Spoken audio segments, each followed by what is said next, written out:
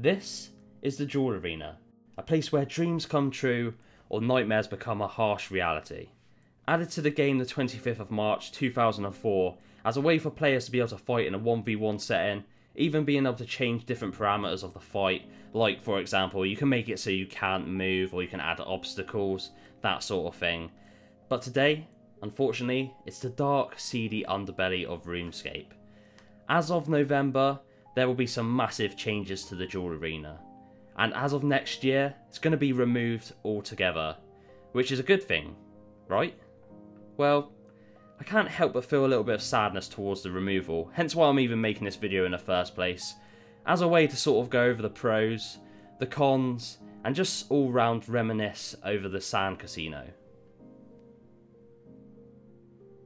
So, for those of you unfamiliar with the Sand Casino or Duel Arena, is a place in Al Kharid where you can go and basically gamble as much money as you want. It's usually high level players with 99s in attack, strength, defense, and hit points.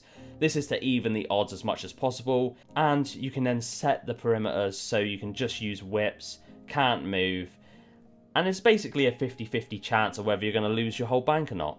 You could win, but more than likely you're just going to lose all your money. So, first things first, let's go over some of the pros of the Duel Arena. For me, personally, it's a fun bit of content. I mean, I've made a couple videos here. Hell, I even made a short where I lost one bill. Definitely not my greatest idea, but there's something about the Duel Arena. Some of my best memories, funnest memories, come from here. Me and my mates messing about, losing all of our banks, or getting that massive win and that endorphin rush.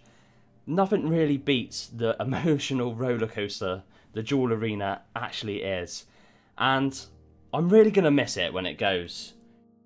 Now, another massive benefit of the Duel Arena is the tax. Now, how this works is after every single duel, a certain percentage, depending on how much money you've staked, will then get taken away as tax, which leads to a massive gold sink, which is probably the biggest and only really decent gold sink in the game. As you can see in this tweet, by Mod Lottie in 2018, the Duel Arena removes 21 billion GP every day. And obviously that was in 2018, so you can imagine just how much GP goes through it now. Without this now, what's going to happen to the economy? Honestly, it's hard to say what's going to happen until it finally does get removed from the game. It definitely concerns me a little, but I'm sure it will work itself out in the end. Also, if you haven't subscribed to my channel already, you probably should because it is guaranteed to give you better RNG. Just saying. So, now we've gone over the pros, it's time to go over the cons. And unfortunately, there's a lot of them. First off, the Duel Arena is absolutely riddled with scammers. Just trying to get yourself a fair duel has become a massive, anxious, horrible, nerve-wracking experience. Which even the smallest bets now, I'm I'm constantly worried that they're gonna switch the food off. I know if you're super careful, you can get away with it, but it only takes that moment, slip in concentration, and you're going to lose all your money. In fact, I lost a lot of money once doing exactly that. I lost concentration for two seconds, and then halfway through the fight, the guy started eating. Absolutely destroyed me. Now, another big problem is real world trading. Now, 38% of all WRT bans stem from the Duel Arena. That being said, I don't think this is going to be a big solution to that problem. People are still going to be buying gold, people are still going to be selling gold. The only thing I'm a little bit worried about is that a lot of money is around the Duel Arena at the moment. A lot of people buy it to stake, and then a lot of people sell it to stake. But the money still stays around the Duel Arena. Now, with all that money in the game and the Duel Arena being removed, one of my concerns is that all that money could end up moving to the normal RuneScape economy and could destroy a lot of prices of gear. Money could be absolutely worthless. I'm not too sure, and obviously, once again, it's hard to tell until it actually comes into play. it probably will help though long term. Eventually, the market will settle, and then this will clear a lot of the real world traders out of the game.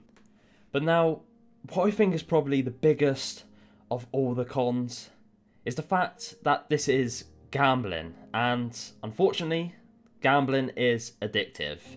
For most people, like myself, it can be a little bit of harmless fun. I'm only ever gambling what I'm willing to lose myself. But there is a very, very thin line before it becomes a lot more than that. And I know so many people who get that first win, and then a couple of months down the line, they've lost their banks, they're putting money into the game, and they're losing ridiculous amounts of real life money. At that point, this is sort of getting a little bit out of control.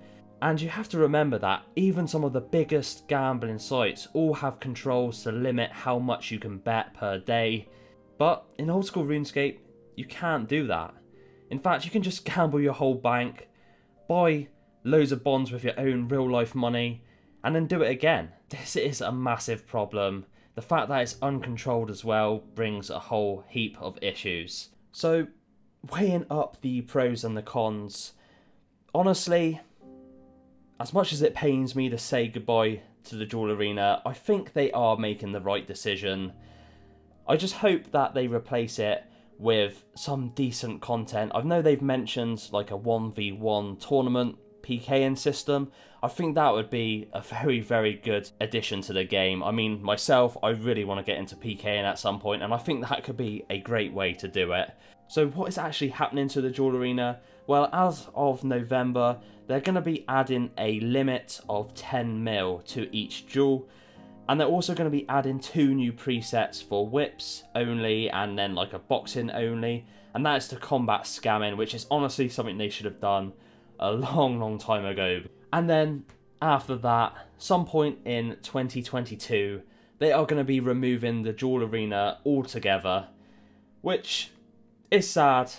It's a little bit sad, but overall, as I said, I think it's probably the right decision.